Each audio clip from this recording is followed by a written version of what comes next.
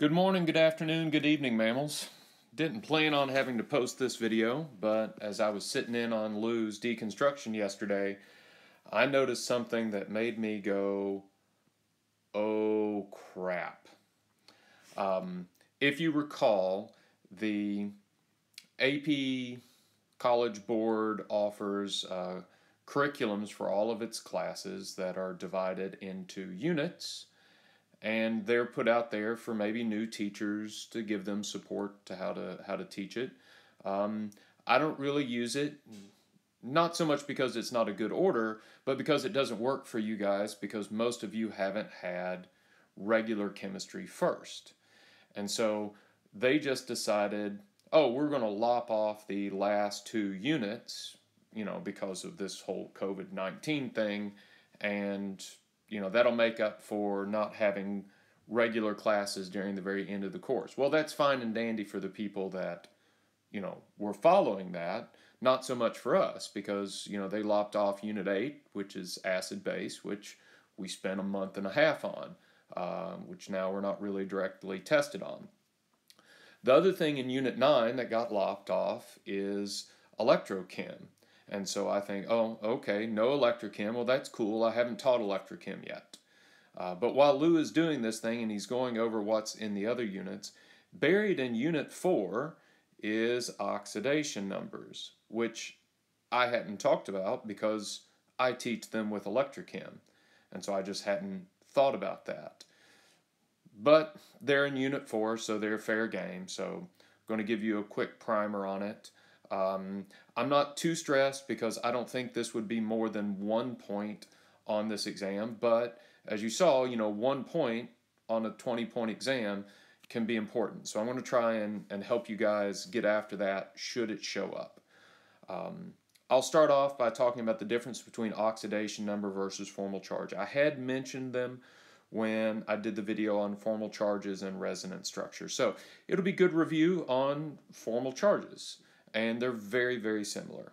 Um, you can also calculate them without seeing a Lewis dot structure and can be a little bit faster. So we'll talk about how to do that. And then we'll talk about what a quote redox reaction is. And that'll be good review because it will give me an opportunity to talk about net ionic equations. So this isn't all lost and gives me an opportunity to uh, touch on some things.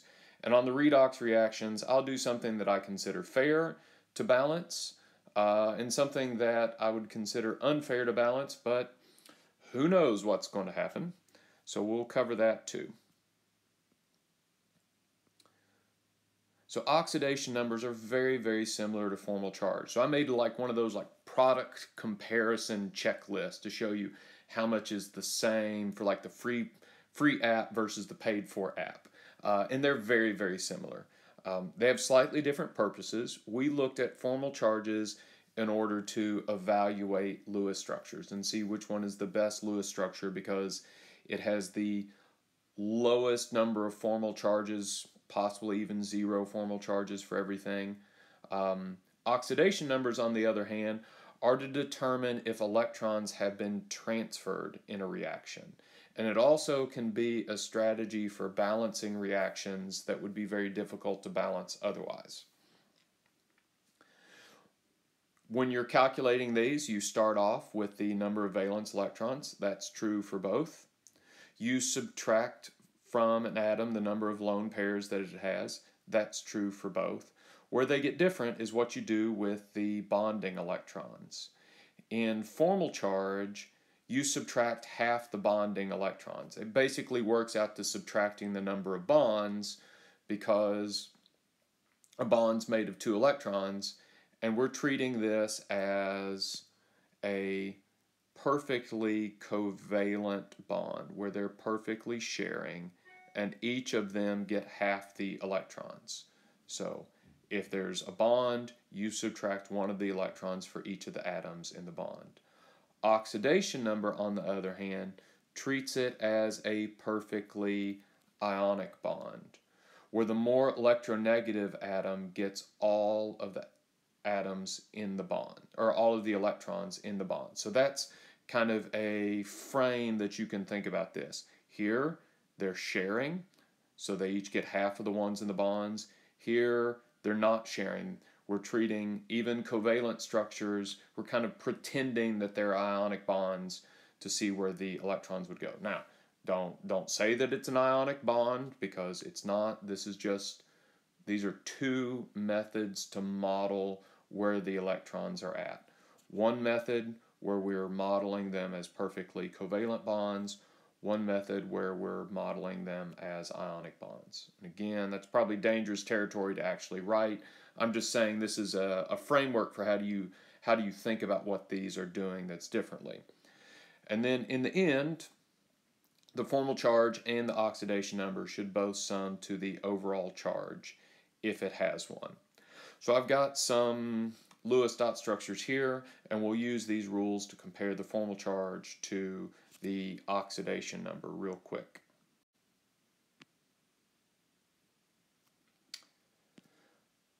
To make it visual, I'm going to do the formal charge in blue and the oxidation numbers in red.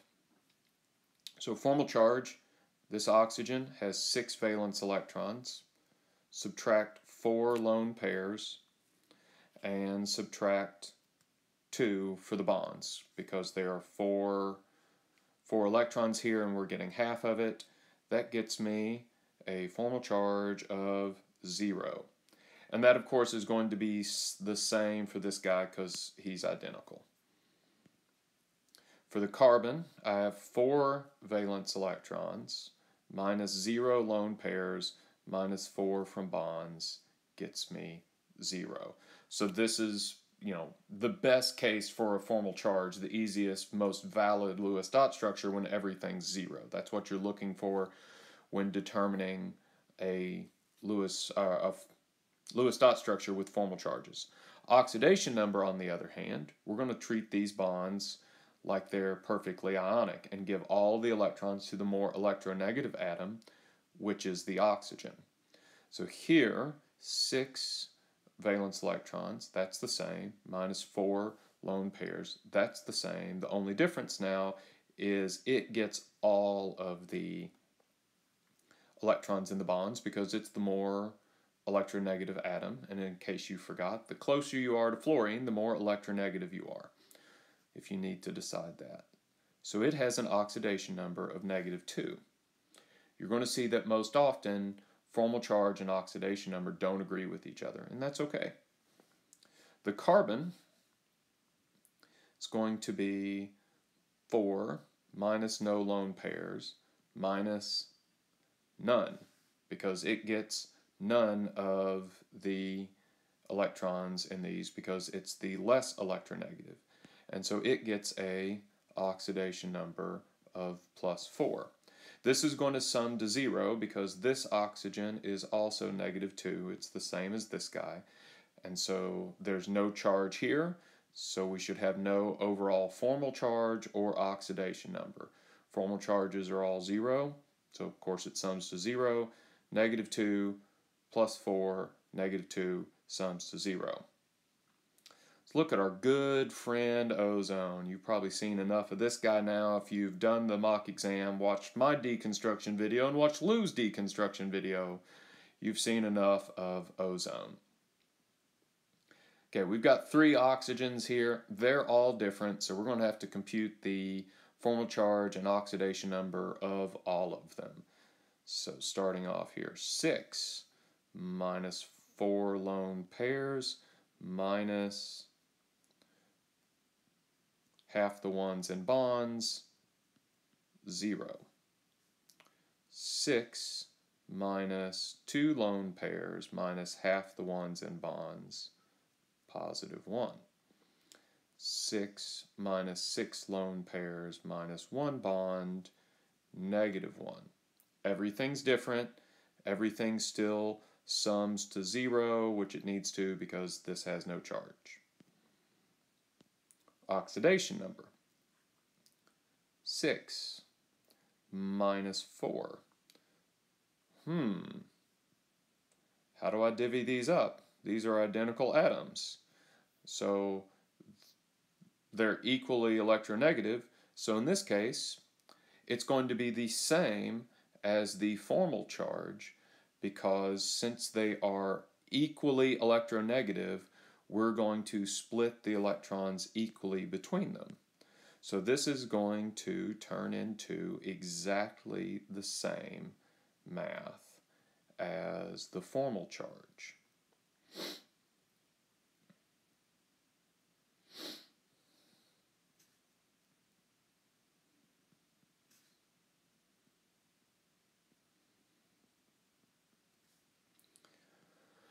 So if you have something that is bonded with itself, then you treat it like formal charge and you split them equally since they're equally electronegative. And that's going to lead to one of the rules about elements that we'll get to in a second.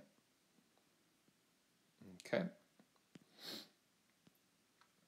Nitrogen, 5 minus 2 in lone pairs minus the bonds gets me 0.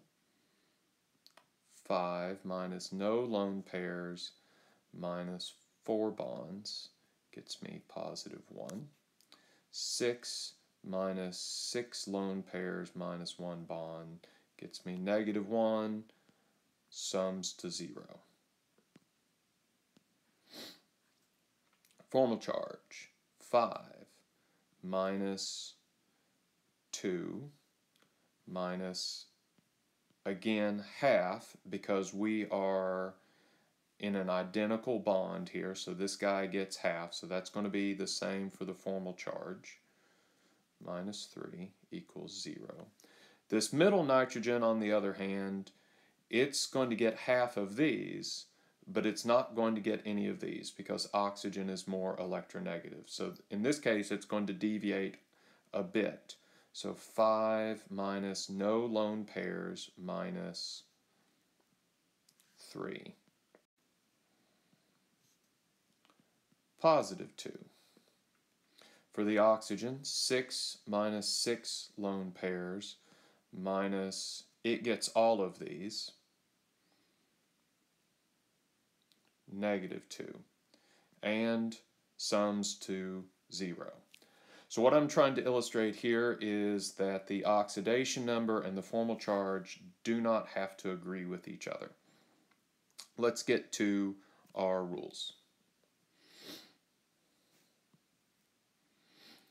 Okay, if you don't have a Lewis dot structure, you could of course draw the Lewis dot structure and um, get it, which is fine. Uh, but here's some handy things. I would write these down somewhere on your paper so that you can you can refer to them if you need to calculate a oxidation number this way.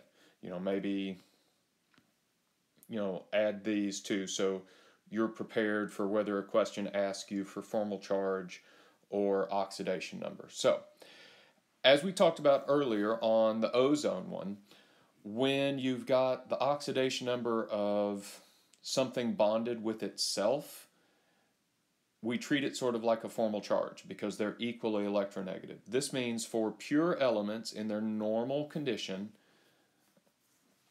their oxidation state is zero. If it's an ion, its oxidation state is going to be its charge because oxidation state is treating it like it's an ion. For things that aren't elements and aren't ions, here are a couple things that are going to get you probably in a problem all but one thing. Fluorine, being the most electronegative element, is always going to get all of the atoms in a bond. So it is going to be negative 1 in all compounds. I said except for F2 because in F2 it's an element. And if you want to think about that, if we drew it,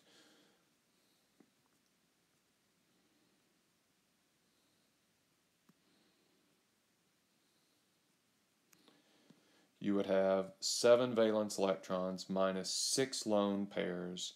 And since it's bonded with itself, it's going to get half of these electrons because one fluorine is not more electronegative than the other. Voila, zero. Oxygen is negative two for most things, except for, I made a mistake here, not you. That's an element, but it's not its standard state, except for O2, where it's an element, and it's 0. And we'll look at hydrogen peroxide here. I'll do the Lewis dot structure for that.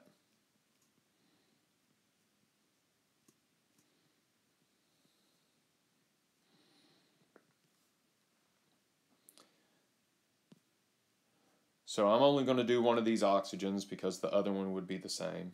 Six valence electrons minus four lone pairs minus, for the bonds, it gets all of these because it's more electronegative than hydrogen, so it gets two there, and it gets half of the one with itself because it's equally electronegative, so minus 3. So that gives it a minus 1. And this works out to be an overall charge of 0 because each of the oxygens get a negative 1 charge and the hydrogen gets a positive 1 charge. So kind of a quick way to solve if you were asked to find the oxidation number of something is to remember these. And then hydrogen, it's going to be plus one with nonmetals because the nonmetal is going to be more, more electronegative. And it's going to be minus one with a metal because it's going to be more electronegative if it's with a metal. So we'll do a couple practice problems here. Typically the way these work out on the AP is they give you one thing that isn't fluorine, oxygen, or hydrogen and then you have to solve because you remember the rules for fluorine, oxygen, and hydrogen. So again, like I said, we've got one thing, the nitrogen, that isn't fluorine, oxygen, or hydrogen. So we will be solving for that using our rules for the other. We know that the oxygen is negative 2, and the hydrogen is with nonmetals, so our rule says that it's plus 1. And now we're just going to you know, figure this out. The one thing that you have to take care of is that there are three oxygens. So I have, from my oxygens, I have 3 times a negative 2. So that gets me negative 6. I've got one hydrogen that is a positive 1. So that's a positive 1. And I have one nitrogen that is X and this sums to, this is a neutral compound, so all of this sums to zero. So quick math tells me that the nitrogen must be positive 5. This is the kind of oxidation number problems, if you were asked to identify the oxidation number that I would expect. Let's do uh, another one here. Ars the arsenate ion. Okay, I have three oxygens times a negative 2, so that gets me a negative 6. I have one arsenic times x, because I don't know what it is, and that is summing to a negative 3. So that means my arsenic must be plus 3.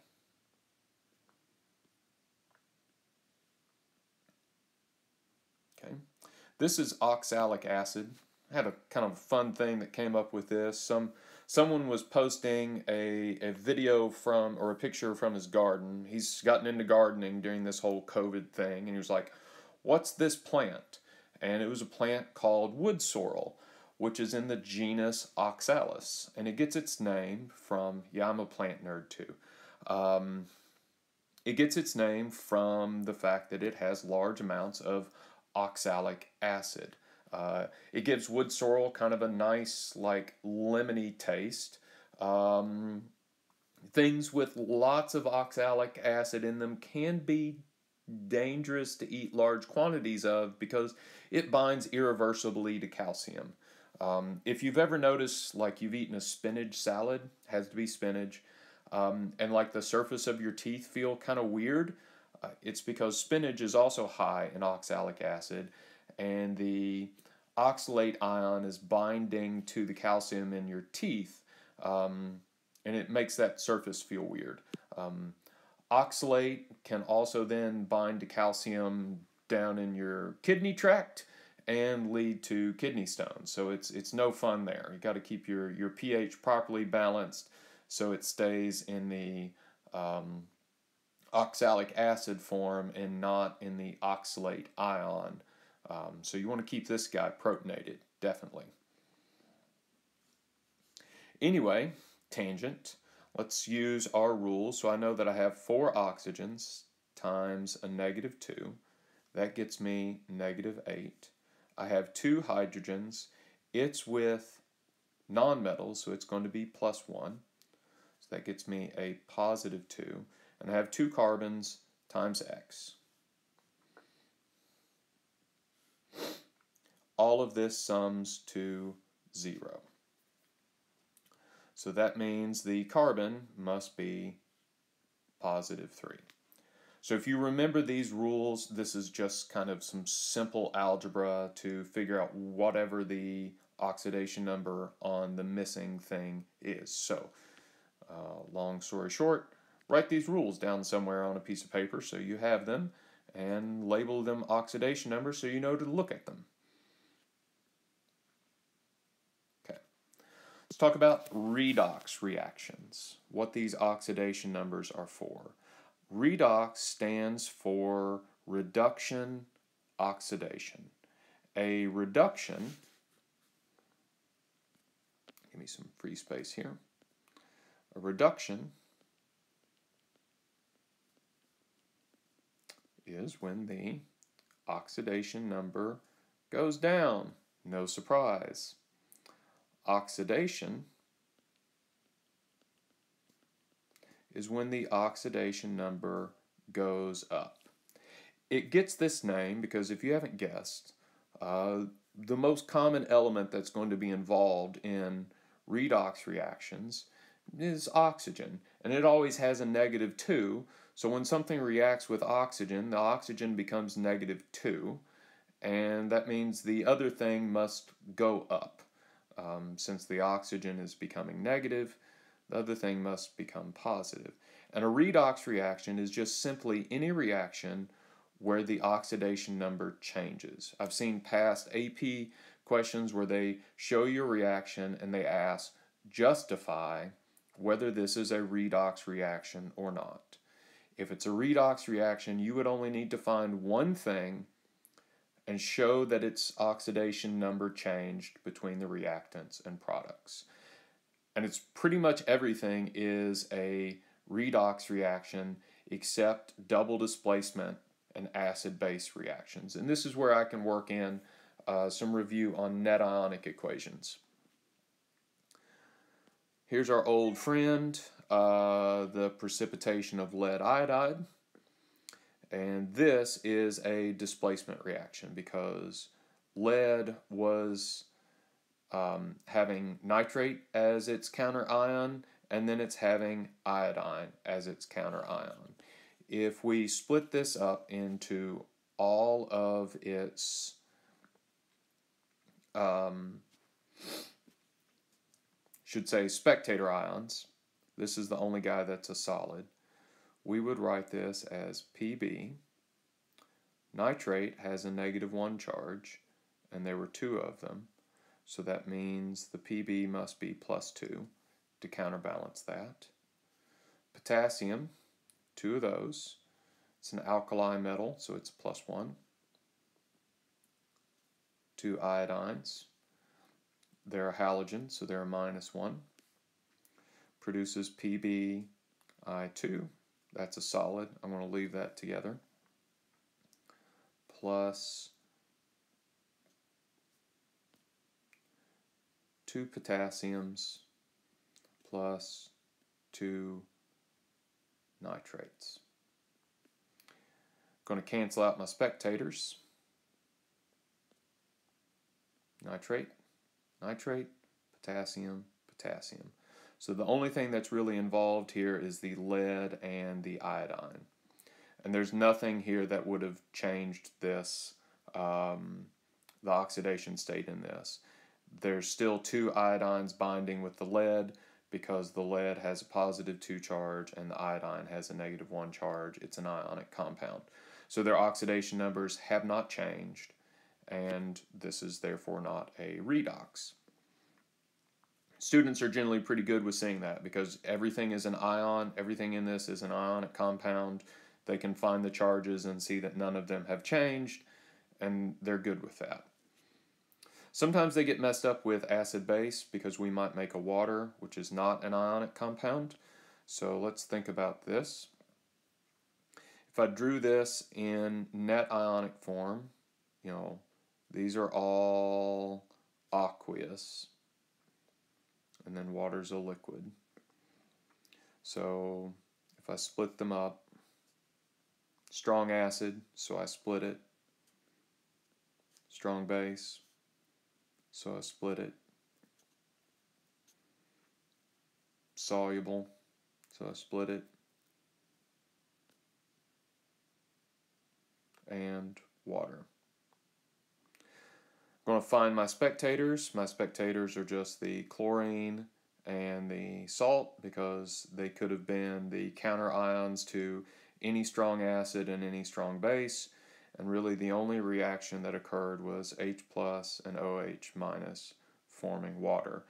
So students might not see that this is not changing the oxidation numbers because they see charges here and they don't see charges here. But if you follow our rules for water,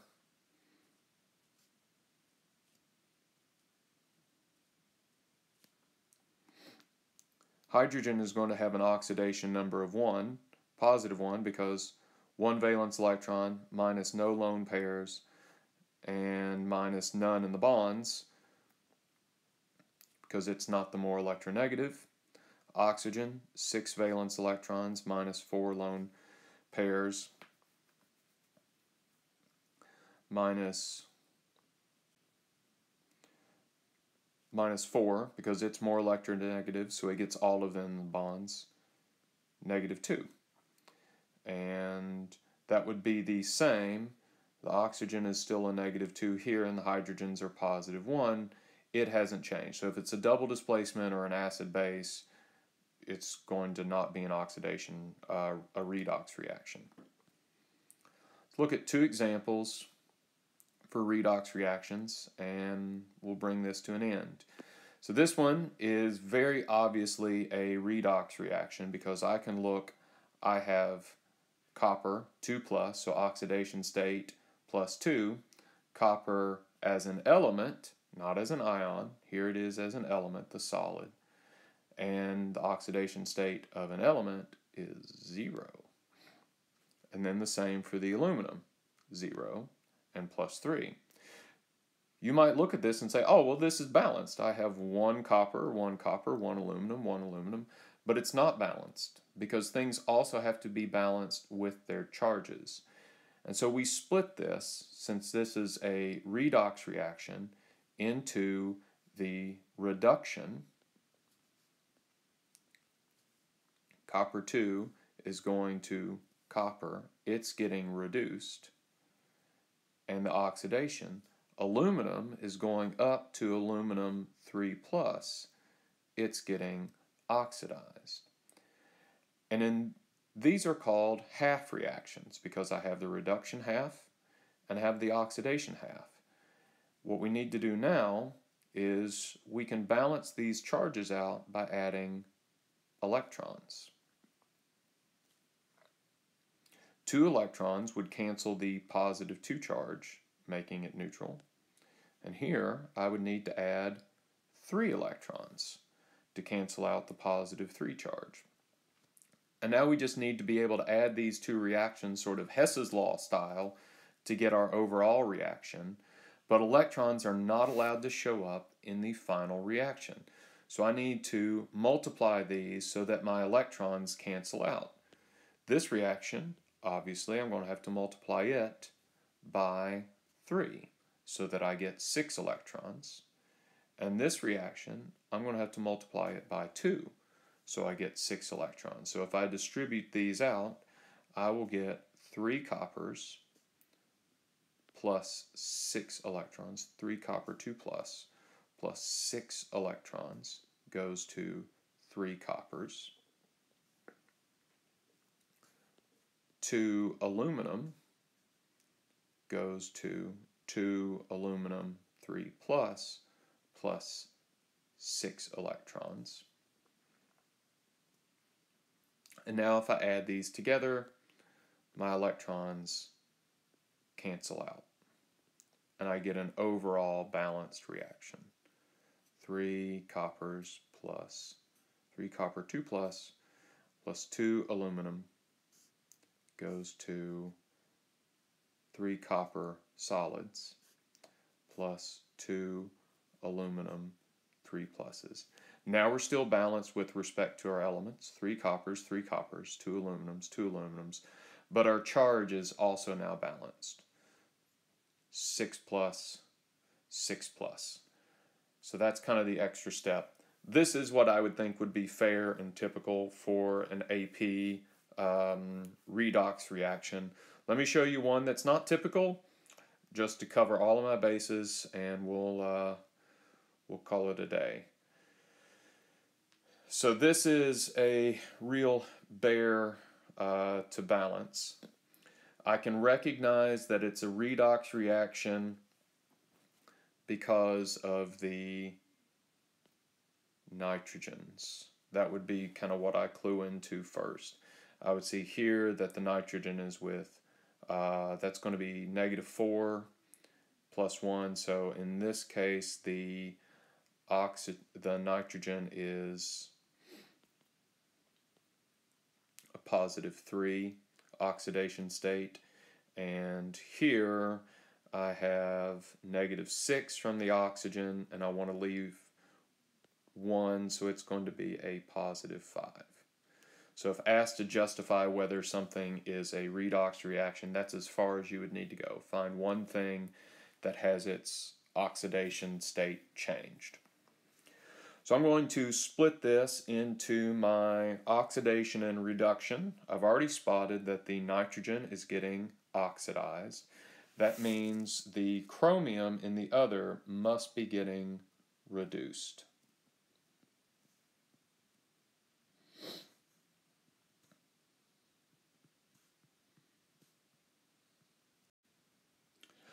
So this is my oxidation. And the compounds involving nitrogen are going to be in my reduction.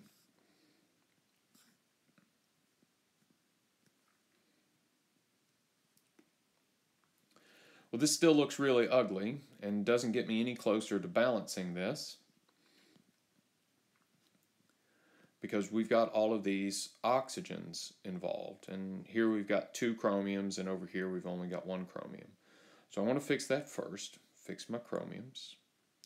And now deal with my oxygens. I have seven oxygens here. And I fix that by adding seven waters.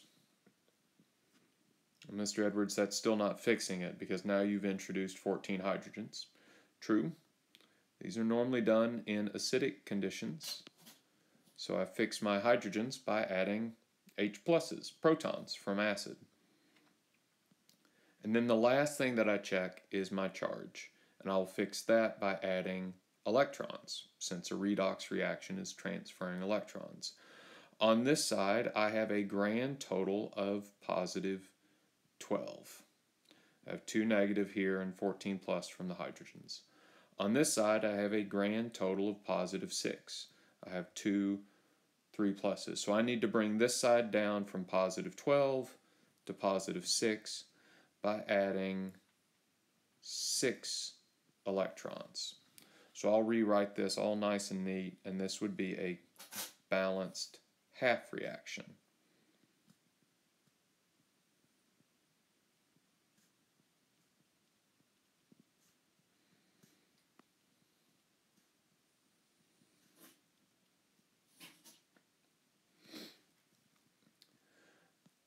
I'm going to repeat this same process with the nitrogens. Okay, my nitrogens are balanced, so I don't have to do that. Next, check my oxygens. Adjust oxygens by adding waters. Now I have three oxygens on both sides. This side has three hydrogens. So add 3 H pluses. Balance my charge by adding electrons. This side is negative, or neutral. This side has a positive 2, so I need to add two electrons to make it neutral also. Uh, warning bells should go off in your head if you add electrons to the same side as up here because we want the electrons to be on opposite sides of the reaction arrow so we can cancel them out.